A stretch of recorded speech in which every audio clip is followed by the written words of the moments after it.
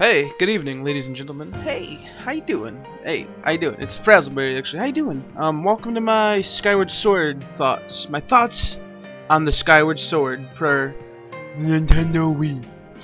Alright, um, yeah, so Skyward Sword, it, uh, when did it come out? I think it came out the November 20th? Yeah, it was exactly a month ago from today. Um, I've been playing it on and off. Uh, for the first couple days, I, er, I guess I, I didn't start playing until a week after it came out, but we had it. But I started playing it every day. I would complete a dungeon, get to the next dungeon, stop playing. Um, pretty fun doing that on and off, but um, I finally got to finishing it because I finished all my other games. And uh, let's get started with my stuffs. Alright, so story. Alright, story. Um. Alright, so the basic idea of the story is uh basically um there's this massive war, right? And it's like so overpowering that the goddess decides to uh basically seal their leader and save all the humans. But what she has to do is basically she, she basically breaks part of the earth and sends it up into the sky, um, separating the humans from the demons. And uh, by doing that, she's able to get rid of the bad guy in the process. But it doesn't get rid of him completely. She just basically seals him. So all the humans are up in the sky, living up on these islands, and that's basically where that ends. Um, then the game picks up. I think they don't really specify. I think it's like a thousand or two thousand years later. Um, you basically start you start off as playing as Link, right? Uh, Link's usually the protagonist of every Zelda game, but it's not the same Link. But you gotta remember that. Um, all right. So basically, it picks up with uh, Link entering a tournament for his uh, like this Link is a I think he's a soldier or he's a knight. He's in a knight school basically, and um, him and Zelda they're uh they're like best friends or whatever. They're like childhood friends and they're grown up and they've got some feelings for each other, you know. Pretty cool. Um, but yeah, basically, uh, he has to participate in a race. He wins the race. Um, meets a bunch of new characters. Uh, Zelda gets separated from them when they're celebrating, and basically, Link has to take on the tunic and the sword and go find Zelda. Um, so basically, start the game really starts once he gets the Skyward Sword. It's like the big legendary um, weapon or whatever. As always, he gets like a legendary weapon, but basically from there on, it's um, it's pretty, it's pretty straightforward, really. Uh, basically, Link has to go from dungeon to dungeon, receiving these tablets. Uh, once he has these tablets, it opens up a new location. Um, this is all done over the overworld. Uh, basically, this game takes place up in the sky, so you have a bird companion. Um, it's not a special bird or anything. It's just a just a normal bird. Um, I don't know. It gets it gets a lot better. Trust me. Seriously, the first the first bunch of the game was pretty boring. Um, I would say yeah, because what you do is you you get the three tablets, then uh, then you have to go find this other island up in the sky. Once you do that, then that's when you start learning your harp. Uh, you basically have a harp in this game for your instrument or whatever. Um, I'm not gonna lie, the harp is actually probably the worst instrument Zelda has ever had. Um, there's very little like depth to it. All you really do is just sway your Wiimote to the this like the pacing of the on-screen notification or whatever. Um, it's just kind of tacked in. I wish they saved it for cutscenes. I really don't think they implemented it very well into the gameplay. Um, but yeah, basically you have to learn these songs. That opens up even more. Then you have to. That basically then you have to create your sword, the the big legendary sword that every Zelda game has. Um, I won't go into spoilers because people probably like Zelda. Um, but I'm not gonna lie, there isn't much story to the game. There is more than they've ever had before in a Zelda game. Um, that's just because there's actually some characters that aren't just copy pasted. Like Ganon was always the same. He was just like this big bad guy who was always like, "I'll kill you all. I'm gonna survive. You're gonna die." Uh, um, this game introduces like Gahiram, the Demon Lord. I think I think that's how you pronounce his name. I don't know. It's really weird looking. Um, he's basically trying to resurrect his demon master or whatever. Um, there's him. Zelda is basically the typical character. Um, just cutesy elf who's like, um, she's just Link's friend. She doesn't really have any personality or anything. there is one character though that surprisingly gets some character development. Uh, his name is Groose. He's um, basically the bully of your town or whatever in the beginning of the game, he kidnaps your bird, and he's just kind of an asshole to Link because he's jealous that Link's so close to Zelda. Um, his character actually develops later on. He realizes that Link has like all this burden on his shoulder, and he realizes that he should be more supportive and, you know, like just be a friend overall. I don't know. That's about as far in the character development to get. Um, I will say the story is good. Uh, it's not Wind Waker, or I don't know. It's hard to compare those two because Wind Waker was, I don't know, it had a lot of good stuff to it, but the story was the first in the series to really make you want to save the world. Well, not just save the world, but you had another purpose besides saving the world. This game, you also have the same situation. Like somebody you know gets kidnapped, you got to go save them. Um, but while doing that, you have to, you also have to save the world. So I don't know. I'd say this and Wind Waker are very close when it comes to story. So I do approve of story. It's pretty good. Um, gameplay. If you've played a Zelda game, you've played all Zelda games. Um, basically, it's always the same. You start off with a small amount of health points. You usually get a sword and a shield in the beginning of the game. You go to a dungeon, you get a tool. Like, let's say you get the whip from this dungeon, then you go to the next dungeon. You get the uh, the leaf blower, then you go to the next dungeon. You get the uh, the grappling hook or the the bombs or the digging gloves. Basically, you get these tools and you use the tools to progress further into dungeons. Um, this one though, around uh, there there is a pretty big number of tools, about the same about in every game. Uh, it's like around like eight or nine different tools. Um, and you do use most of them quite a bit. Uh, the slingshot not so much though. I'm trying to think. Um, yeah, pretty much everything else you use quite a bit, at least once or twice every dungeon or couple dungeons apart. Um, but yeah, I guess I'll. If you've played Zelda, you've played Zelda. Now let me talk about the new features. Um, yeah, basically new features. Um, they've added a upgrading system. Basically, what this means is, uh, as you're exploring the world, you kill monsters and you break open things.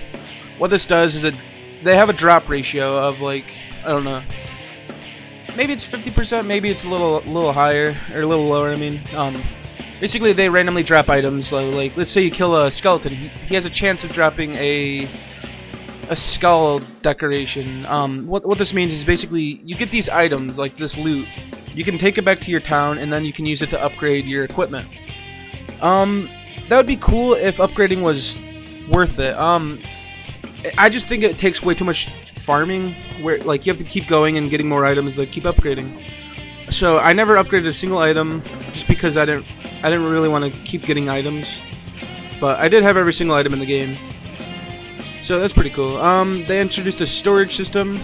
Basically what this means is uh, you have your normal backpack where you keep your tools, but then you have the hero's storage or something like the hero's pouch I think is what it's called. Um, you basically get these limited slots where you can put um, like let's say you get an arrow attachment, that'll make it so you can carry more arrows, but it also takes a slot up in your your equipment bag or whatever. So you can only have a certain amount of these enhancements or whatever in there. So what the storage system does is it allows you to put these items in there. So let's say you get the this this arrow pouch that allows you to carry 50 additional arrows.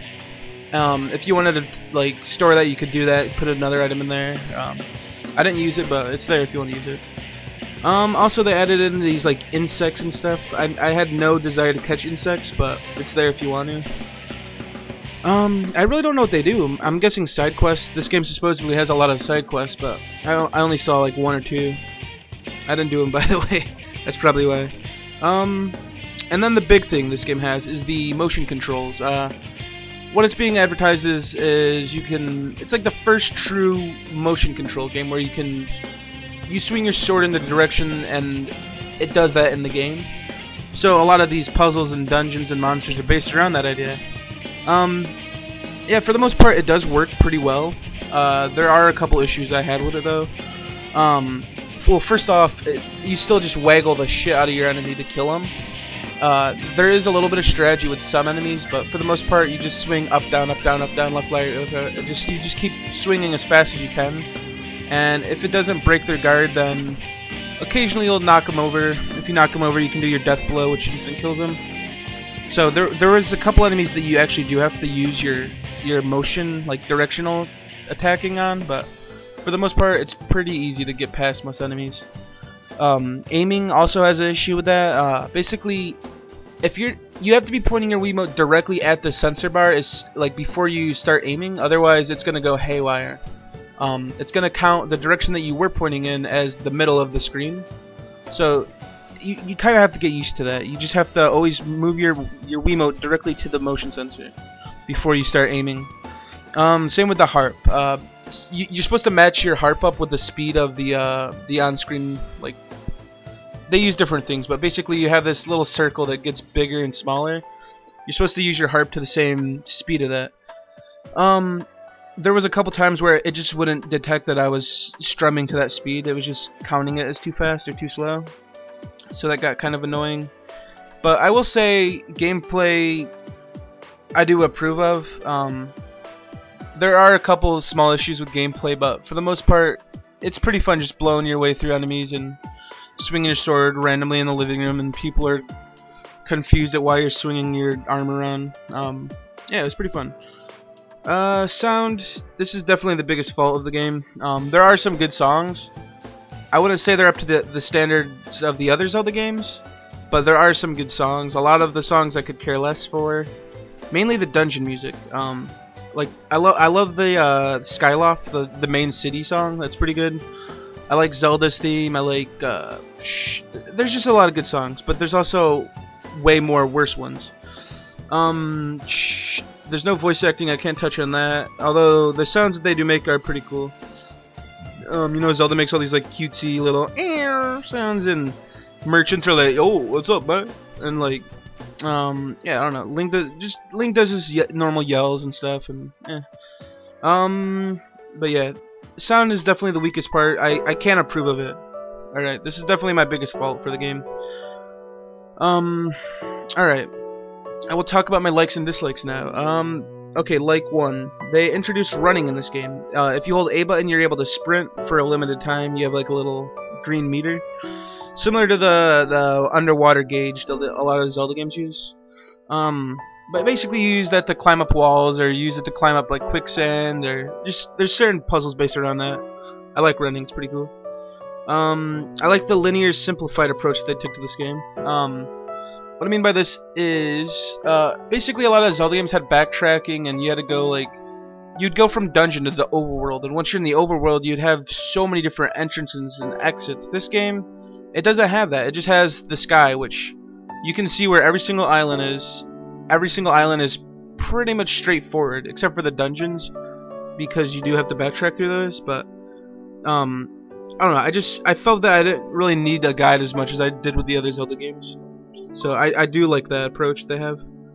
Um, like 3. Uh, every Zelda game you have a companion who's like an assistant or whatever. This game introduces Fi or Fi, however you want to pronounce it.